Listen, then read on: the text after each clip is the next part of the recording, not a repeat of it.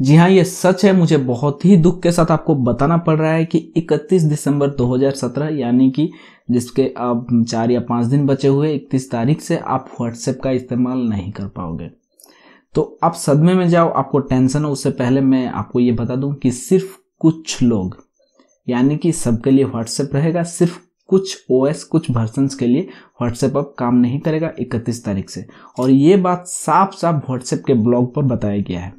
जैसे कि अगर आप इस्तेमाल करते हो विंडोज़ का 8.0 का ऑपरेटिंग सिस्टम, या फिर ब्लैकबेरी का 10 एंड्रॉयड का 2.3.7 या फिर उससे कोई पुराना ओएस आपके फ़ोन में है तो आपके लिए व्हाट्सएप आपको नहीं मिलेगा। आपके फ़ोन में आप व्हाट्सएप का इस्तेमाल नहीं कर पाओगे।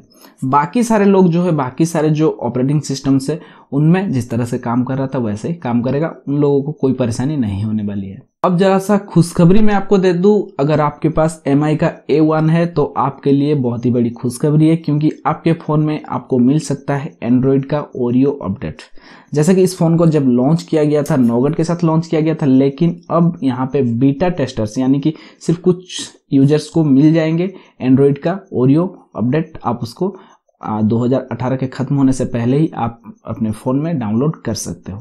और अब एक खबर आ रही नोकिया की तरफ़ से, नोकिया का ई सेवेंटी वन के बारे में। ई सेवेंटी वन का मतलब वो पुराना वाला ई सेवेंटी वन नहीं है।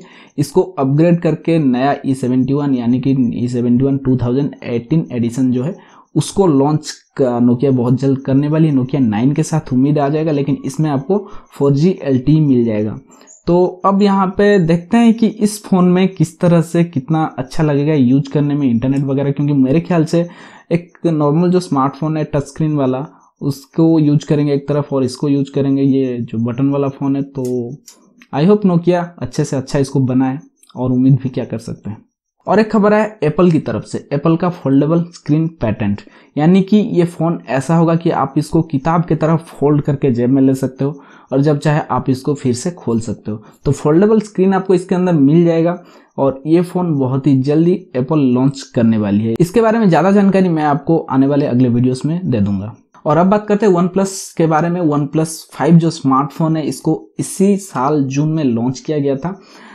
लॉन्च के कुछ दिन बाद इस फ़ोन में ओरियो मिल जा रहा था, लेकिन ये सिर्फ़ कुछ बीटा टेस्टर्स के लिए थे। अब ये ओरियो ओरियो का जो ओएस है, इसको सबके लिए कर दिया गया है। तो अगर आपके पास है वन प्लस फाइव तो आप इस्तेमाल कर सकते हो एंड्रॉयड का ओरियो और इसमें आपको बहुत सारे अच्छी अच्छी चीज़ें मिलने वाली है। तो गाइज़ ये था मल्टीपल टेक अपडेट में सिर्फ़ इतना ही आज के लिए। कल फिर मिलते हैं कुछ नए वीडियोस नए टेक्नोलॉजी के न्यूज़ लेकर के।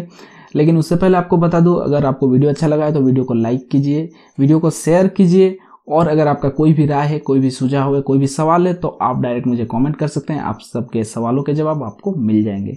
और आपको एक बात बता दूँ कि अगर आप चैनल पर नए हो तो चैनल को सब्सक्राइब कर दीजिए, बेल को एक्टिवेट कीजिए, ताकि हमारे वीडियोस जो अपलोड होंगे, उसके नोटिफिकेशंस आपके स्क्रीन पर आ जाएँ। आज के लिए बस इतना ही। कल मिलते हैं फिर कोई नई वीडियो नई टेक के साथ। तब तक के लिए bye bye and take care